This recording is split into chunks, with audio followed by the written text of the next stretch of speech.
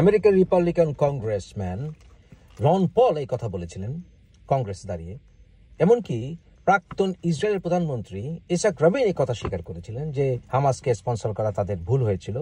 এমনকি ইয়াসির আরাফাত পর্যন্ত এই কথা সবাইকে স্মরণ করিয়ে দিয়েছিলেন। Hamas was encouraged and really started by Israel because they wanted Hamas to counteract Yasser Arafat. Hamas আর প্যালেস্টিনিয়ানদেরকে যারা এক চোখে দেখছেন যে হামাস মানে প্যালেস্টাইন প্যালেস্টাইন মানেই হামাস। তাদের কাছে প্রশ্ন, হামাস টেররিস্ট বুঝলাম, কিন্তু হামাসকে সৃষ্টি করেছে কে?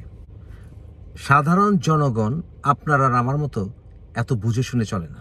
হামাসের প্রতিষ্ঠার পেছনে যে ইয়াসিন এবং তার যে মুসলিম ব্রাদারহুড কানেকশন, যেটা পঞ্চাশ বছর আগে থেকে শুরু, সেই ইয়াসিন এবং তার সহযোগী মোহাম্মদ জাহার, এদেরকে কারা স্পন্সর করেছিল? গাজাতে?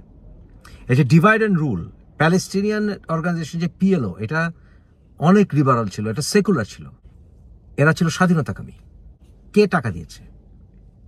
এই গাজাতে যে বিভিন্ন হামাস ইনফ্লুয়েন্স যে সকল স্কুল বিভিন্ন ইসলামিক শিক্ষা কেন্দ্র, বিভিন্ন সংগঠন তৈরি হয়েছে, আপনারা কি জানেন এর পেছনে ইসরায়েল কত কোটি কোটি টাকা ঢেলেছে?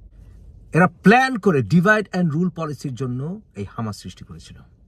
এটা আমার কথা কেন হবে? অনেক ইসরায়েলি নেতা তারা এই কথা স্বীকার করেছেন। ইসরায়েলি অনেক আর্মি জেনারেল এই কথা স্বীকার করেছেন যে তারা ওই সময় এই হামাসকে টাকা দিত। সেই কথা কেন বলেন না? তাহলে আপনি একটা উগ্রবাদী সংগঠন- সংগঠনকে আপনি মেইন স্ট্রিম থেকে আলাদা করলেন। আলাদা করে তাদেরকে ফান্ডিং করলেন, তাদের মতামত প্রচার করার জন্য আপনি টাকা ঢাললেন। সাধারণ জনগণ বোকার মতো সেখানে তো ঢুকবেই। কারণ সাধারণ জনগণ আপনার আমার মতো চিন্তা করে চলে না। আমাদের বাংলাদেশে যেটা ঘটছে অনেক ক্ষেত্রে। ওয়াহাবিজম, সালাফিজমদেরকে স্পন্সর কারা করেছিল? এই সৌদির মাধ্যমে কারা স্পন্সর করেছে?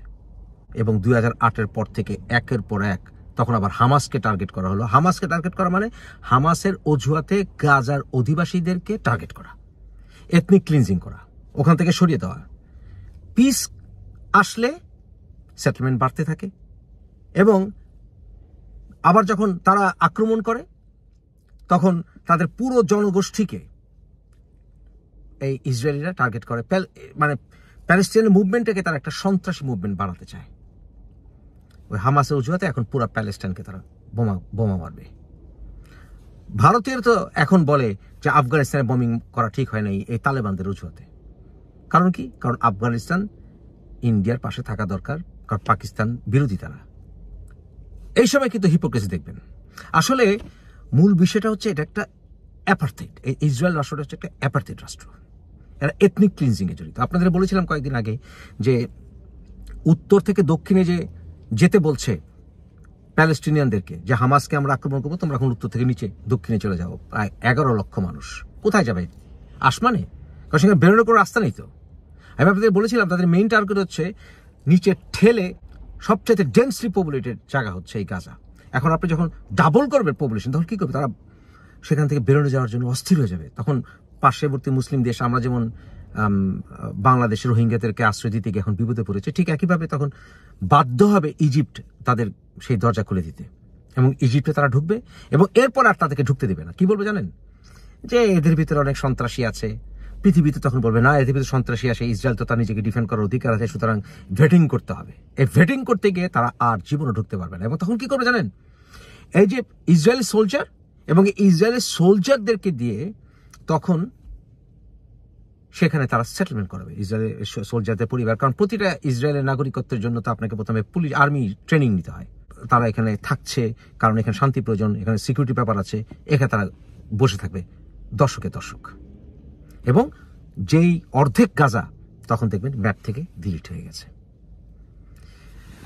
পৃথিবীতে একমাত্র ইসরায়েল ছাড়া পৃথিবীতে কোনো দেশ, কোনো বইয়ের ভিত্তিতে, যে আমার কিতাব বলেছে, এই ভিত্তিতে আপনি সেই ধর্মের হলেই আপনি একটা নির্দিষ্ট জায়গায় গিয়ে নাগরিকত্ব নেবেন। পৃথিবীতে নাই। এমনকি সৌদি আরবে আপনি বলছেন যে মক্কা, মদিনা আপনার ধর্মীয় শহর। আপনি কি মনে করেন সৌদি গভর্নমেন্ট আপনাকে মুসলিম হওয়ার কারণে আপনাকে নাগরিকত্ব নাগরিকত্ব দেবে সৌদি আরবে? দেবে? দেবে না। কিন্তু পৃথিবীতে এই একমাত্র দেশ ইসরায়েল, যে তারা আমি ইহুদি, এটা আপনি প্রমাণ করতে, আপনি ইহুদি প্রমাণ করতে পারলেই আপনি যেই হন, পৃথিবীর যে প্রান্তেই হন, আপনি নাগরিকতা পাবেন। আপনি যে মুক্ত চিন্তক মানুষ হন, আপনার কাছে কি এটা যৌক্তিক মনে হয়? কোন কিতাবে কি বলেছে? মানে ওইখানে কিন্তু সার্কুলার লজিক যে আমার কিতাব বলেছে সত্য, তাই সত্য। এটা সার্কুলার লজিক না? তাহলে আমার কিতাব বলেছে আমার আমি আমি ইহুদি, আমার প্রমিস ল্যান্ড ওটা আমার এটা আমার দাবি। সার্কুলার লজিক এমনকি আমেরিকান জিবিসদের সাথে ইসরায়েলি জায়নিস অনেক যুদ্ধের মধ্যে ব্যাপক কিন্তু মতপার্থক্য আছে। আপনি জানেন, আমেরিকার জ্ঞানী ইহুদিরা এই জায়নিসদের সাথে মেলামেশা করে না আপনারা যেটা জানেন তারা এর তীব্র বিরোধী। সুতরাং এই আন্দোলনটা তো জায়নিস আন্দোলন। তাদের এই সংগ্রাম তো, তাদের দেশটার নামটা কি? ইসরায়েল ইসরায়েল শব্দের অর্থ জানেন? ইসরা এল, এলো এল হচ্ছে এলোহিমের অসংক্ষেপ। মানে এলোহিমের সঙ্গে একাত্ম হয়ে স্ট্রাগল মানে জেহাদ। বেসিক্যালি এটা জেহাদ ল্যান্ড এটা ওদের ভাষায় জেহাদ ল্যান্ড আপনার একটা প্যালেস্টাইন এটা কোনো ধর্মীয় নাম নয়। ফিলিস্তিন। ফিলিস্তিনে ইহুদি ছিল, খ্রিস্টান ছিল গোল্ডেমেয়ার যেটা বলেছিল ওদের প্রাইম মিনিস্টার। তো সেটাকে আপনি কর্তন করে আপনি বানিয়ে দিলেন ইসরায়েল একটা একটা ইহুদির ধর্মের নামে রাষ্ট্র সৃষ্টি করলেন। সেখানে গণতান্ত্রিক রাষ্ট্র আপনি স্পন্সর করতেন, সেখানে। সেটা কিন্তু সেখানে গণতান্ত্রিক রাষ্ট্র হিসেবে আপনি স্পন্সর করেন নাই। সেখানে আপনি একটা রিলিজিয়াস থিওক্রেসি আপনি সৃষ্টি করেছেন এবং আপনি অবধারিতভাবে একটা ব্যাপক সংঘর্ষের রাস্তা ওপেন করে দিলেন। কেন? মূল কারণটা কি? মূল কারণটা হচ্ছে এথনিক ক্লিনজিং ইসরায়েলের নাগরিকদের তিরিশ শতাংশ হচ্ছে সাদা ককেশিয়ান হোয়াইট তাদের আড়াই লক্ষ থেকে পাঁচ লক্ষ, মতান্তরে পাঁচ লক্ষ মানুষ হচ্ছে আমেরিকান নাগরিক। আরও বেশ কয়েক লক্ষ হচ্ছে ইউরোপিয়ান নাগরিক। তাদের ইসরায়েলি নাগরিকত্ব হোল্ড করে এমন অনেক মানুষ আমেরিকার হোয়াইট হাউসের চিফ অফ স্টাফও হয়েছে। ইসরায়েলের ব্যাংক অফ ইসরায়েলের যে গভর্নর, সে আমেরিকার রিজার্ভ ফান্ডেরও ভাইস চেয়ারম্যান হয়েছে। এগুলো কি? তাহলে শিকাগোর মেয়র পর্যন্ত ইসরায়েল নাগরিকত্ব ছিল। সুতরাং এটা হচ্ছে একটা স্যাটেলাইট স্টেট এবং এটা মূলত আপনি যদি কোনো একটা জায়গায়, কোনো একটা এলাকায় যদি আপনি রাষ্ট্র সৃষ্টি করে ইম্পেরিয়ালিজম করতে চান, সমাজবাদ করতে চান, আপনি প্রথম ওই রাষ্ট্রটাকে বুঝাতে হবে, তুমি কিন্তু ভয় আছো, তোমাকে চারিদিকে মেরে ফেলবে। তো ইসরায়েলে যারা থাকে, তারা সবসময় আতঙ্কে থাকে, এই আরবরা আমাকে খেয়ে ফেলল, ওই আমাকে দখল করে ফেলল। তখন কি হয়? আর্মস রেস শুরু হয় এবং চামচামি করতে হয়, কোনো উপায় নেই। ওয়েস্টার্ন দেশগুলো চামচামি তাদেরকে করতে হবে, কারণ তারা ভয় আছে তো। তাদের অস্তিত্ব নির্ভর করে ওদের- উপরে। যত ইউরোপিয়ান শক্তি কমে যাবে ওদের অস্তিত্ব বিপন্ন হতে পারে। এটা জ্ঞানী ইহুদিরা বোঝে, তাই তারা এই রেজিমকে সমর্থন করে না। কোনো ধর্মভিত্তিক রাষ্ট্রকেই সমর্থন করা যায় না।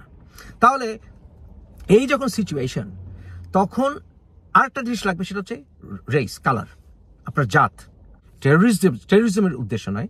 যদি যারা স্বাধীনতার জন্য ইন্তফাদা করতে চায় বা সংগ্রাম করতে চায় তখন তারা দেখে, ও, এটা তো সাদা Caucasian American British, European citizen. তখন তারা এইভাবে দেখে। কারণ সারা বিশ্বে ডিসকভারি ডক্ট্রিনের পরে ডিসকভারি ডক্ট্রিন মানে আপনি পেয়েছেন আপনার আপনি ওই যে পেপল মানে ভ্যাটিকানের অনুপ্রেরণায় বাইবেল দ্বারা অনুপ্রাণিত হয়ে। ল্যান্ড পেয়েছেন, এখানে এটা আপনার। এই যে, এইটা করে তারা অস্ট্রেলিয়া নিউজিল্যান্ড কানাডা সমস্ত ইউরোপে, ইউরোপের বিভিন্ন ইম্পেরিয়ালিস্টরা ওখানে ওইসব দেশে গিয়ে তাদের লোক সেখানে ভরেছে।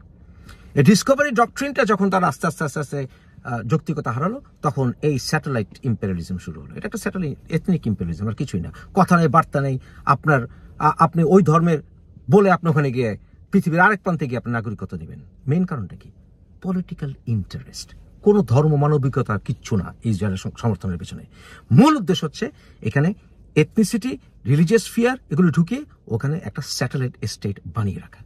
এটাই মূল উদ্দেশ্য। আর কোনো কিছু না। এশিয়াতে এই একটাই দেশ। Were there not an Israel, the United States of America would have to invent an Israel to protect her interest in the region. মার্কিন যুক্তরাষ্ট্রের প্রেসিডেন্ট জো বাইডেন উনি কিছু সময় আগেও বলেছিলেন যে যদি ইসরায়েল না থাকতো তাহলে আমরা যুদ্ধ জাহাজগুলো কীভাবে সেখানে নেব কীভাবে আমেরিকান সেখানে বিভিন্ন মিলিটারি সেখানে নিয়ে যাব। আমি জায়নিস্ট। উনি এটা নিজে বলেছিলেন। অর্থাৎ উনি লুকানোনি ব্যাপারটি। এখন যেমন হামাসের অজুহাতে এখন আমেরিকার সমস্ত ব্যাটলশিপগুলো সেখানে চলে গেছে I say, imagine our circumstance in the world were there no Israel. How many battleships would there be?